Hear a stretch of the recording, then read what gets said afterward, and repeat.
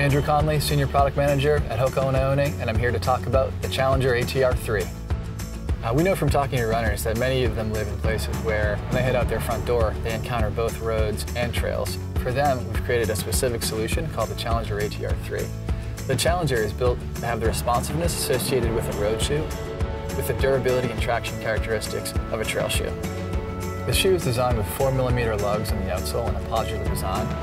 It's appropriately soft and nimble for the road, but also gives you great traction for uneven, inconsistent surfaces that you'll encounter on the trail. I love the Challenger ATR 3.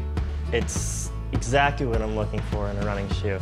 I can go from running on the cement right to the trail. The, the tread is perfect. I'm not slipping around everywhere. And also when a, a puddle comes around or something, I just run straight through it other than just trying to jump over it and hurt myself. Challenger ATR 3 I put on and I was ready to go, ready to run a tempo.